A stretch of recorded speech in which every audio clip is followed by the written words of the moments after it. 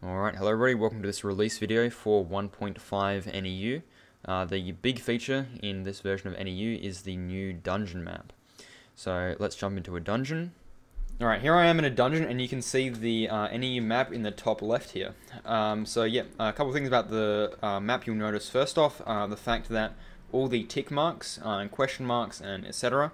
are custom textures. Uh, so that makes the map look a lot nicer. In addition to that, all the rooms are also custom textures, uh, and also all the connectors. So you can change the color of, you can change the texture of the ticks, the rooms, the connectors. So if you don't like any of the colors you see here, you can you can change all of that. Um, and this is what the map looks like. Right now I have it set to rotate with me, uh, and I have a custom border set. Uh, if I do slash NEU map, you'll see a settings UI which allows me to change a lot of these things. So I'm just going to go through in order here. So the first thing you can change is the map border size. Um, because I have custom map borders, uh, I can only support three sizes. So I have a, a small size, a medium size, and a large size. Uh, and also have a small room size, a medium room size, and a large room size. So depending on which floor you're running, uh, you'll need to change uh, one of these two things. Like if you're on a floor 6, you probably want to use a, a, small room size if you want to see the entire map. Uh, and we have a bunch of map border styles here um, made by not me. I'm I am nowhere near this creative. Um, in the actual mod, uh, if you hover over it, uh, it, it, should show you, tell you who made it. Um, but I'm just going to go through some of them. So the first one is stone, uh, simple border over here. Next one is wood. Uh, this one looks lovely. We have rustic, kind of like a steampunk sort of thing, a rustic circle. Uh, we have fade, we have ribbons, uh, we have paper, like so. Crimson does not have, crimson only right now is small. Uh, we have ornate, and we have dragon. So all um, most of the textures aside from crimson uh, work in all three different styles. Uh, if you want to have um, a circle without using one of the custom borders, just click um, the second custom over here, and there you go, you can get it as a circle. Uh, you can enable, disable the dungeon map over here. You can change where the map is centered to, so if you want it centered, uh, instead of centering in the center of the rooms, you can make it center on the player. Uh, you can make it rotate with the player, or you can make it not rotate with the player, like so. Uh, again, even if you're not inside a dungeon, you can still preview it using this one over here. Um, icon style, you can change it from um, this normal default. You can change it to use player heads. You can change it to use um, player heads but scaled to be 2 pixels smaller. You can use it to be um, player heads but with pixels cut off the edge or, or just normal, uh, whatever you prefer. You can make the checks, so by default, when if you rotate around, you notice that the checks are reorienting themselves, they always face downwards. Uh, if you don't like that, if you want it to be like um, all the other maps, uh, you can turn off check orient, and they will uh, appear upside down, uh, like, like so. Of course, I prefer it orienting. You can also change um, check center, so uh, this will attempt to move the check marks towards the center of the room. So for example, in this 2x2 room, it'll move it towards the center, and so on. it doesn't move it to the exact center, but there you go, that, that is an option if you prefer that. Um, compatibility mode uh, and interpolation should you should not touch this uh, unless you know what know what you're doing or if you've been instructed by someone on the Discord. So yeah, just don't touch these two features. Uh, next, you can change the background color. So you can change um, color the background. You can make it uh, a, a, blue background. You can increase the opacity. You can decrease the opacity. Uh, you can make the, the background chroma. Next, you can also change the border. So if you don't have any uh, any borders like so, uh, you can set a custom colored border, so just bring the opacity up. Uh, maybe want a maybe want a, a, red border like so. Uh, of course, it supports chroma as well. So if we turn on the chroma here, you'll be able to see the the border flashing all kinds of ungodly colors.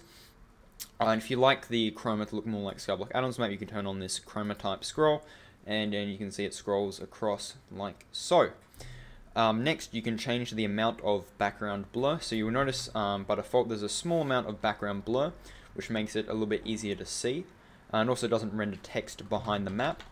Uh, if you don't like that, if you want to have more blur, you can increase this number here. If you want to have no blur, you can turn it off, like so, and that will uh, no longer blur stuff behind it. I think, um, personally, the, the background blur is nice. Uh, makes it a lot easier to see what's going on. And finally, uh, you have the system here. Unfortunately, I haven't integrated it with the normal uh, the overlay editor. So just for now, you're going to have to modify the position of the map using these two things here.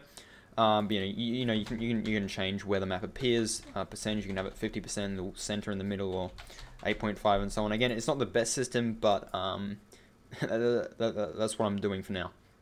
Um, that's the dungeon map. Um, obviously, there's a lot more kind of quality of life things in terms of uh, the, the ticks being nice and smooth in terms of the uh, interpolation, all of that, uh, as you might expect with, with some of the other maps. But, but that is the, uh, the dungeon map. I hope you like it.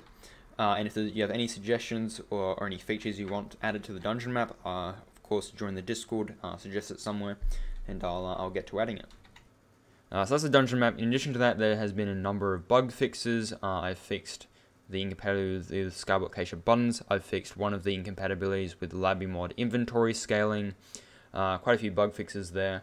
Uh, I've also added a feature that lets you change the color of your rod lines. So if you're holding a fishing rod and you throw it into the water, uh, you can see it's black right now, but if I go into my options here, um, and I go into colors, I can change the color of my rod line. So I can make it white, I can make it blue, I can make it chroma if I so desire, which looks like this.